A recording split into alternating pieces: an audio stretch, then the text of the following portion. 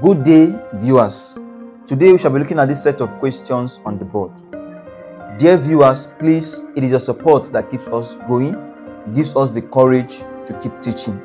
If you're just coming across our video for the first time on YouTube, please, if you enjoy our videos, support us by clicking on the subscribe button down below the video. And if you wish to be notified when we drop a new video, you can also click on the notification button. Thank you.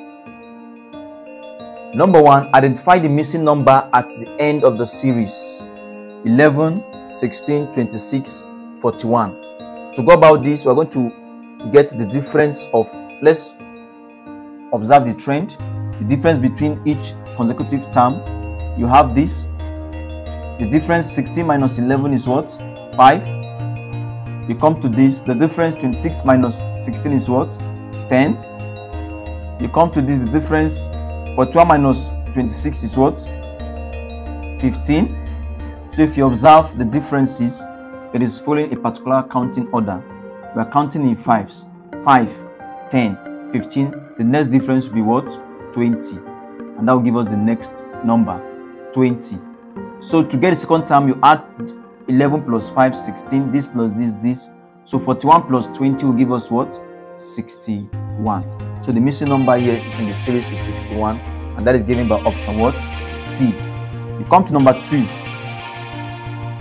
For number 2 we have this series 5, 12, 19, 26 and then the missing number.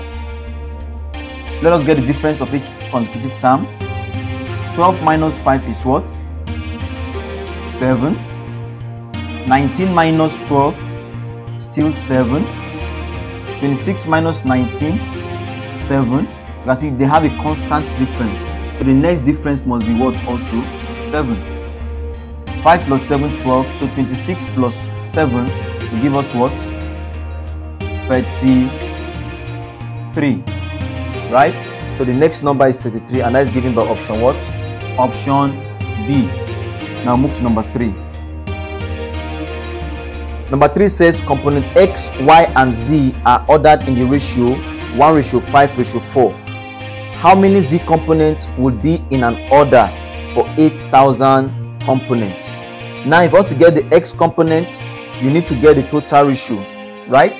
We have 1 ratio 5 ratio 4. So the total ratio is given to be what? 1 plus 5, 6. 6 plus 4, 10. Total ratio is 10 for each component now Suppose you want to get for x, we're going to divide the ratio of x by the total ratio, then multiply by the total component. But the question asks us to get for what? z component. So the ratio for z is what? 4. So we're going to have 4 all over the total ratio, 10, then times the number of components, 8,000. This gives us what? 0 cancel out 0. Okay? 4 times 800 will give us what? 4 times 8 is 32, so you have 32. Then you have the 0, 0, 0, 0. 3200 components, and that is given by option what? A. Option A gives the correct answer to number 3. That is all we have for you today. Thank you for watching. Please don't forget to subscribe. Bye bye.